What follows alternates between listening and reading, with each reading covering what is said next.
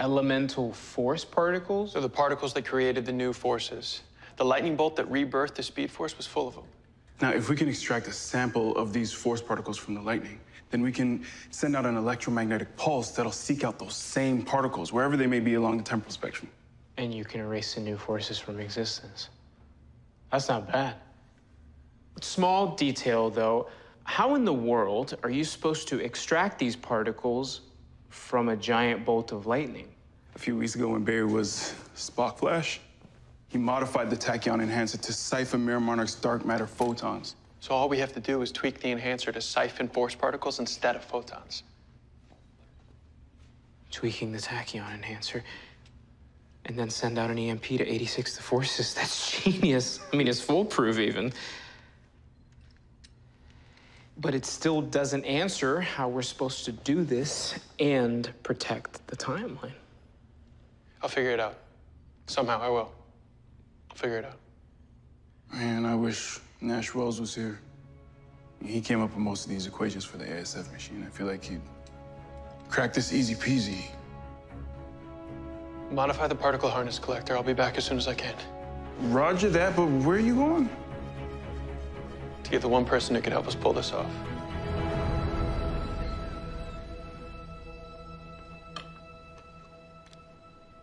Oh, no. Tess! President Bartlet just mixed up his meds. That's not going to be good, but great TV. Oh! Allen. Allen. I'm guessing this isn't a social call. Not exactly. We need your help. How bad is it? That depends. On. Whether or not you can help us do the impossible.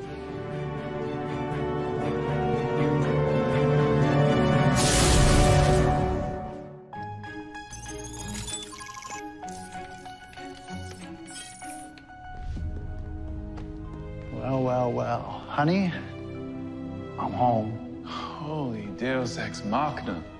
Timeless Wells. Perfect timing. Always.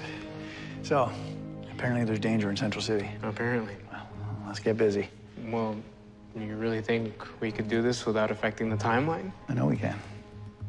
As long as we use me as your guide. Harrison was there when the forces were created, so if we use the other him from that night as a beacon to lock onto, Hopefully I can go back to that exact moment. But also bring Allen along for the ride and he'll collect the particles.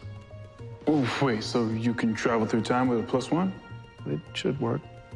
When Allen and I go back to that exact moment that those dangerous forces were created 17 days ago, I will, I will create a, a protective time bubble, right? From that moment until now, preserving those days in this timeline, preventing anything from changing.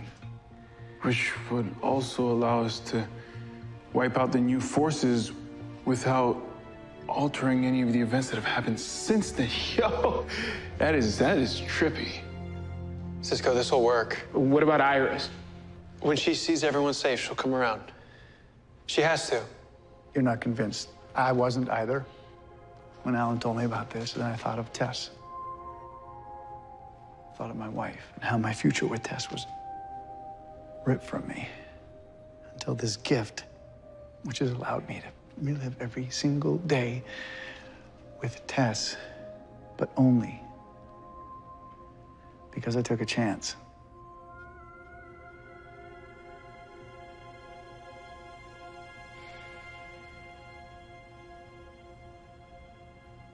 All right. I'm in.